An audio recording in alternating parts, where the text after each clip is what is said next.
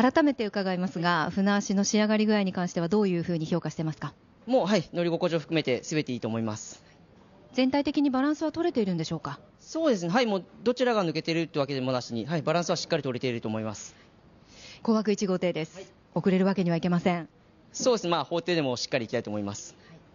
優勝戦に向けては何か作業の方は考えますか？いや、もうもちろん何もしない予定です。なんで何もしないんでしたっけ？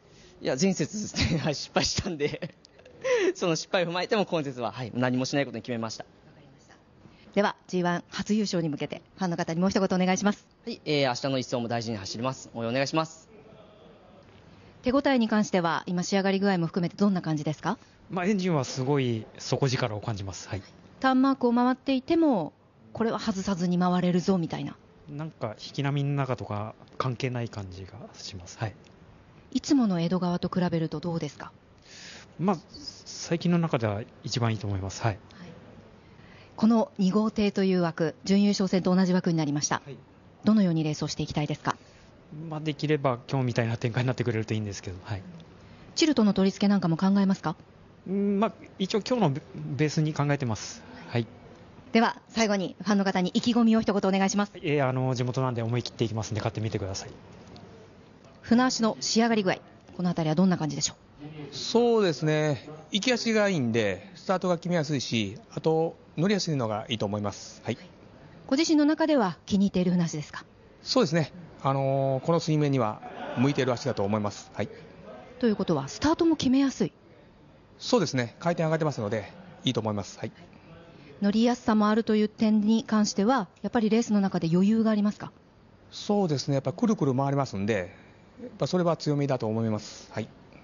さあ、えー、3号艇という枠ですが、準優勝戦と同じ枠になります。レースのイメージは？そうですね、いい枠ですね。はい。では最後にファンの方にもう一言メッセージお願いします。はい、明日一日応援よろしくお願いいたします。仕上がり具合実際レースしてみていかがでした？あの出足がしっかりしてるなと思います。はい。この4枠という形に関してはどうでしょう？優勝戦レースのイメージとしては。まあスタート行ってあの幕かさすかと思いますけど、はい。さて、えー、この G1 戦、勝ったばかりでの2度目の優勝もかかります。お気持ちのほどはいかがですか？あのー、今節はまあ気楽に臨めそうな気はします。4号艇だし。はい。では、最後にファンの方にもう一言メッセージお願いします。はい。頑張ります。船足の仕上がり具合はいかがですか？もういい感じになってると思います。はい。途中、リングの交換もありましたけれど、やっぱりこう自分の思うような感じではいった感じです？そうですね、リング交換させてもらって、えー、そこからターンの押しとかも、えー、だいぶ来たと思うんで、まあ、いい状態ですね、はい、力強さに関しては、このままキープして、その他の船足に関しては、底上げを狙っていくような作業に関しては？そうですね、もう少し回転上げてもいいのかなっていう感じがあるんで、そこだけも明日試してみてだと思います。5号艇という枠です、私個人ではイメージがあるんですけれど。まあ、僕も5コース大好きなんで、何かあると思いますスタートに関しては見え方いかがです？まあ、ちょっと見たり、えー、全速で行ったり、もうバラバラなんで、明日思い切ってあの全速で行きたいと思いますでは最後にファンの方にもう一言メッセージお願いします。はい、あの思い切っていきます。よろしくお願いします。エンジンの仕上がり具合は準優勝戦も含めてどんな感じですか？この乗り味はもうかなり良かったので、伸びていく感じとかはないんですけど、出足と乗り味はいいのかなと思います。はい。競った感じはどうでした？もう出足はしっかりしてたと思うんであのよしっかり見ながらは旋回できましたけど、はい、まあ、思いっきりのいいレースができる大会にはなっているんでそこが一番いいのかなと思います、はい、6枠になりました、はい、レースのイメージは？もうそうですね。あの今節あのいろいろ試してはみたんですけど、うん、なかなか思ったような伸びがついてこ、ね、くれなかったんで、うん、もう出足をもう少し上積み図りたいなと思いますけどしっかりあの同期の稲ちゃんが攻めてくれたら展開あるのかなと思ってます。はい。では最後にファンの方にもう一言お願いします。はい、えっと枠は遠いですけどあのレンに絡めるよう一生懸命頑張ります。応援してください。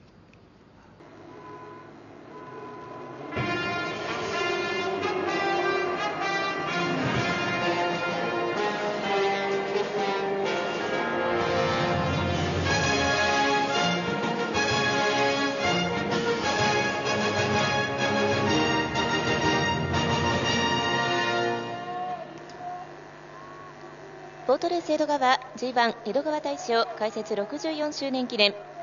シリーズを通して爽やかな秋晴れのもと争われました6日間の戦いはいよいよファイナル。12レースの優勝戦を迎えています。対戦メンバーです。1号艇3拍子揃って船足万全。G1 初 V へあとはスタートに集中するのみ。福岡枝尾勝2号艇江戸川通算300勝のメモリアル V へ地元の大きな声援が後押し。東京石渡哲平。3号艇ゼロ台スタート連発。研ぎ澄まされた集中力で最後もスリット強襲。香川三島誠司。4号艇輸出ラッシュの快進撃。全速で2節連続の記念タイトルダッシュは兵庫稲田浩二5号艇近況の嫌な流れを断ち切る。突破口を開きますか。三重井口義則。6号艇思い切った乗りっぷりが光ります。果敢に G1 初 VH 撃は佐賀の古賀茂樹。以上6選手です。並びは枠なり3対3です。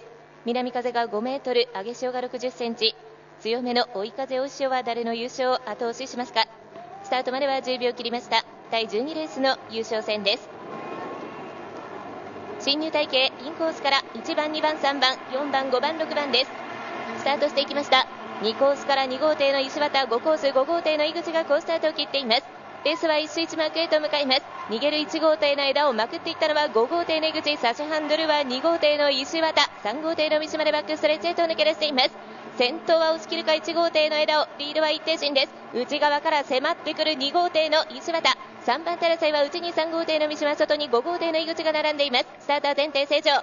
2マークトップで1号艇の枝尾が旋回。2番手3号艇三島を回して差しハンドル。2号艇の石渡と5号艇の井口でホームへ取り返しています。先頭は1号艇の枝尾時計前リードは3艇進です。2番手2号艇の石渡3番手5号艇の井口差がなく3号艇の三島と追走。西の1マークをトップで1号艇の枝尾が旋回リードは4号艇進と広がりました。2番手に2号艇の石渡3番手が5号艇の井口。上位の体系は1番2番5番3選手抜け出しています。後ろは3番4番接戦離されて6号艇の小型追走でレースは2周の2マークです。トップで1号艇の枝尾が旋回2番手2号艇の石渡3番手5号艇の井口でホームへと折り返しています。体勢変わらず1番2番5番で大時計前を通過しましてレースは最終周回。先頭インから押し切りました1号艇の枝尾勝3周1マークの旋回から最後のバックストレッチへと先頭で抜け出しています。7戦6勝。G1 では初の予選トップ通過からビクトリーロードを突き進みます。デビューから17年8ヶ月3回目の G1 唯一で初の記念タイトル SG 初出場の切符も手にします。今年2回目通算16回目江戸川では2度目の優勝が目前です。江戸川大賞は3大会連続で G1 初優勝の推進祭となります。